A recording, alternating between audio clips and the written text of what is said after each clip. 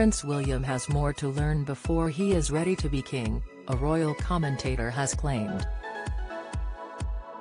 The Prince of Wales celebrated his 41st birthday on June 21 this week with Westminster Abbey ringing its bells to mark the future king's special day. In his first interview since taking the title that King Charles held for five decades, William told The Times that he has made ending homelessness his lifelong ambition. The Prince of Wales has been preparing to become king his entire life. As Prince Harry claims in his memoir, King Charles, Princess Diana, the Duke of Edinburgh and even Granny would use the shorthand phrase heir and the spare. But Pauline Maclaran, professor of marketing and consumer research at Royal Holloway University, said she does not believe the father of three is quite the finished article just yet. Kate and William don't want to move into Royal Lodge even if Andrew leaves the author of the 2015 book Royal Fever, The British Monarchy and Consumer Culture told Express. Co.uk that she believes that the next stage in the heir's life is fundamental to his development. She said, I think many people already see him as ready to be king but in my view, he has more to learn in his quest to modernise the monarchy. This period where he is Prince of Wales will teach him a lot in this respect about what he can do for positive change without ruining the intrinsic mystique of the monarchy that is a core reason why people are drawn to them.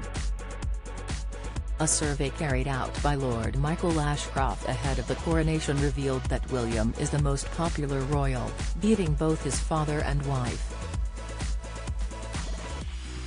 According to Professor Maclaran his popularity over his father can be explained by the fact that he is more charismatic and confident when in public than the king, having inherited his late mother's charm. She continued, William displays more confidence and charisma than his father, Whereas Charles can sometimes appear uncertain or even reluctant in stepping into the limelight, William seems more outgoing and relaxed about the public nature of his position. William has a lot of charisma and the ability to reach out to people. He has a lot of his mother's charm in this respect and this very much helps his popularity.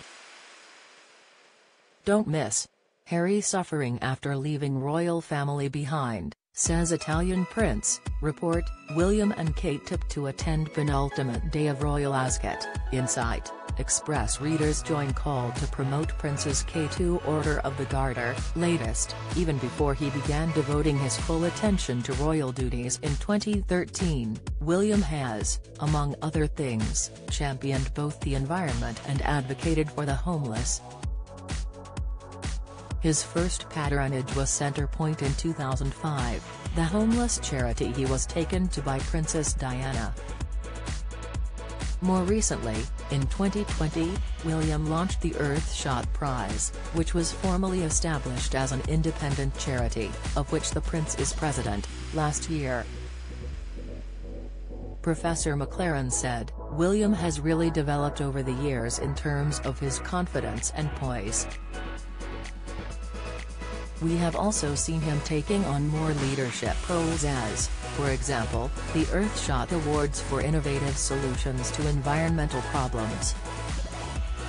In the years to come, Professor Maclaran believes William will modernize the monarchy more than his father has while demonstrating that the monarchy has a role to play by fighting for the likes of the environment and the homeless. She continued, William is very determined to make the monarchy more relevant and fit for purpose in the 21st century. I think we will see him modernize more than his father and attempt to make the monarchy have a more positive value in the eyes of its public, particularly in terms of the younger demographic causes like Earthshot and his more recent campaign on homelessness all feed into this agenda of trying to use the monarchy's influence to bring about positive environmental and social change.